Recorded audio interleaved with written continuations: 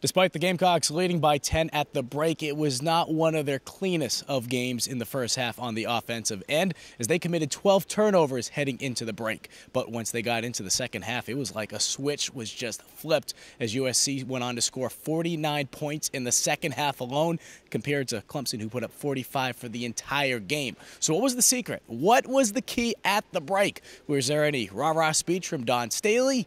Well, mm, not quite. Coach came in and she just talked about how we just need to take care of the ball, make sure we're getting shots at the basket, and how we need to be the aggressor. Um, don't just kind of let them push us around. So that's what she said, and then we came out in the second half. What was the tone like? Was she angry? No. I mean, I just said that we, we just we weren't playing our, our style of play. I think we were I mean, we were we were prepared for their style of play and what and how they were going to play us.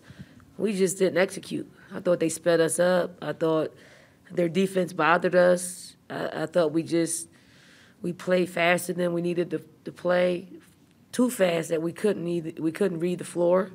So it led to some um, just some real ugly play on both sides of the ball. Perhaps one of the things that was holding this team back in the first half is the fact that there were so many pregame festivities. The players from last year's squad received their Final Four rings, and in addition to that, there was an unveiling of the Final Four banner from last season. But if you ask Dawn Staley, is she satisfied with that banner?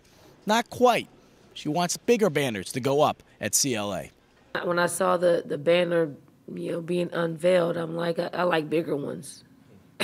I mean, like, you know, you, you, you see it, you know, versus the um, national championship, and then you see the, you know, number one ranking is significantly smaller. and we want to put big banners up. No, it's nothing, take nothing away from our success. Um, but we, we know what it feels like on more than one occasion to go to the Final Four and not win. I mean, winning is, is definitely a lot more exciting to unveil a, um, a banner. But I mean, I think it it goes to show just our sustained success. I mean, and it's hard to do in any profession in any sport. Um, but our, our team seems to be able to do that over the years, and it's just the commitment of our players. I mean, they they can go other places and do other things and and and be just fine, but they chose to come here and that's why we, we've had the success that we've had in the history of our, you know, of our program.